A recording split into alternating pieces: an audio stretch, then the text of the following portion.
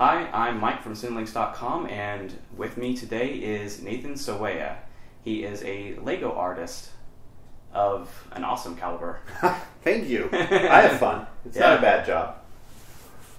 I from I, from watching the film, I I liked everything that you did so far. So Thank you.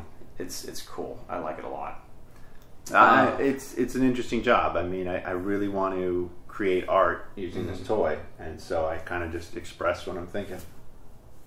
Now, this isn't part of the questions that I wrote down, but um, how do you like?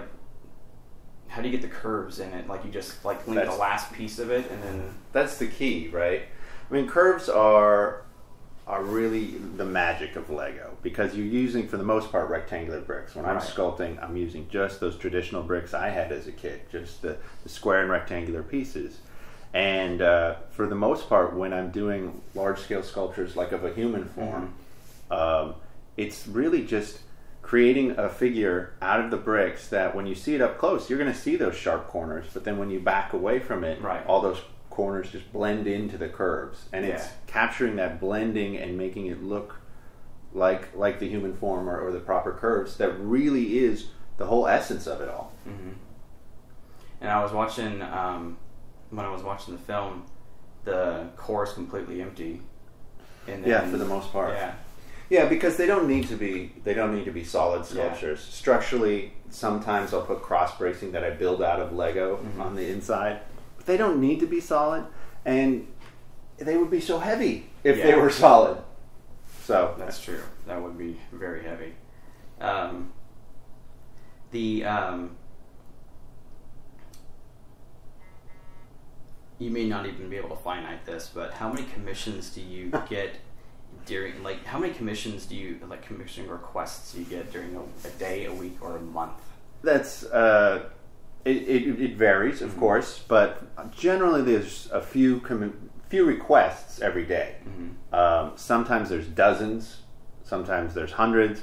Generally, there's just a few on average, and um, I think it's one of the best parts of my job. Right, is that I get these crazy requests every morning. Like I open up my email and it's kind of fun to see what people's passion is and what they want built out of Lego.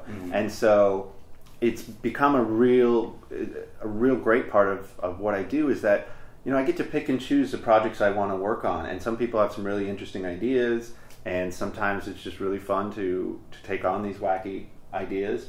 Um, I wish I had time to do even more projects, but th- there's only so much I can do. But it's been fun to just pick and choose projects over over the years. Cool. Um,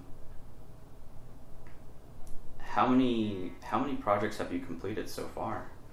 Oh, uh, that's a great question. I don't know for sure. Probably hundreds of them. Um, I started uh, doing this almost 10 years ago, where I was practicing law as a corporate lawyer in New York City, and then I left the law to become a Lego artist and play with bricks. So many requests. Yeah, it got to the point where my website crashed from too many hits, and I was like, "All right, there's Nice. something to this." So I, I left the law, became an artist, opened an art studio in New York City, and just started building with bricks full time. And it was a interesting time because I didn't really know if I was going to be able to make a career out of it. Um, and then eventually, I started doing art shows and more and more art shows. Well, really, just growing the art shows. Right. And uh, as as the brickumentary documents, you know, the biggest art show I ever did, and, and really a turning point for me was the art we, uh, the art exhibition we did in New York City, and that's what the brickumentary uh, does a nice job of capturing all of that.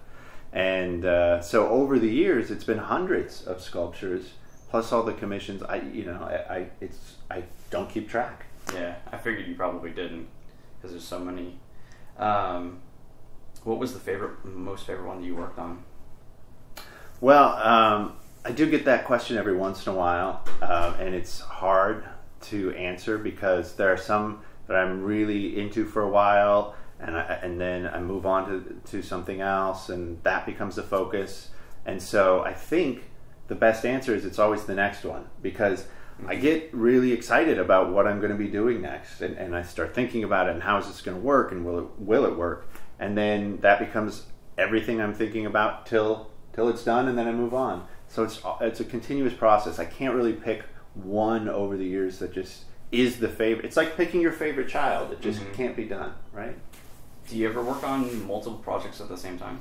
Yeah, generally there's probably two or three things going on at the same time. One being the main focus, and then some other projects going on. Cool. Yeah. Um, now, if I remember correctly, you did the ones downstairs or in SDCC.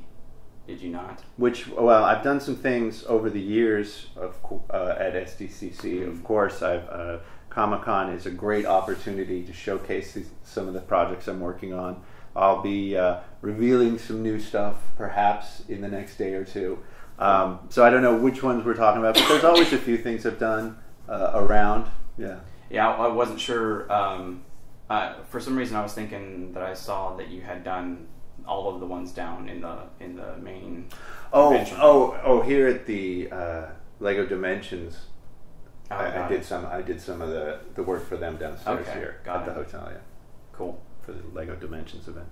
And you said that you've already you've, that you've been working on this for over ten years now. Yeah, it's Wow. been over ten years. I mean, I had Lego bricks as a child, so Right. if you really want to parse it out, uh, it's well over ten years. But yeah, as a full time gig, it's been about ten years. Awesome. Yeah. Uh, that's all the questions I really had. All right. for you, man. awesome. So Well, thanks for coming by. Thank you thank guys. you very much.